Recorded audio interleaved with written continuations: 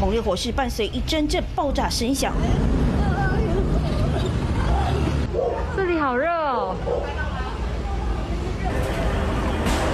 就像遭到炸弹攻击一般，现场大火球直窜天际，火势一发不可收拾。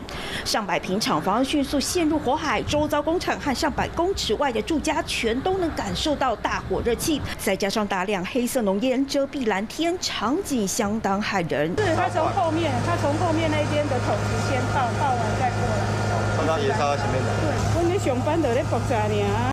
十八号早上八点四十多分，台南山上区这间大型铁皮工厂突然冒出大火，远在数公里外的国道上，用路人都能看到黑色蕈状云盘踞空中。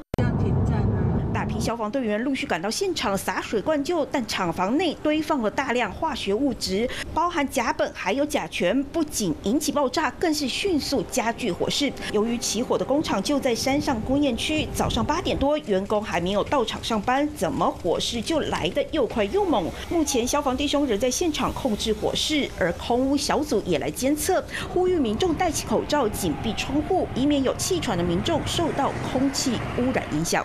华视新闻刘汉生台南报道。Hello，我是李明瑞。想要抢先掌握最及时的新闻资讯吗？赶快订阅、按赞、开启小铃铛，锁定我们华视新闻的 YouTube 频道。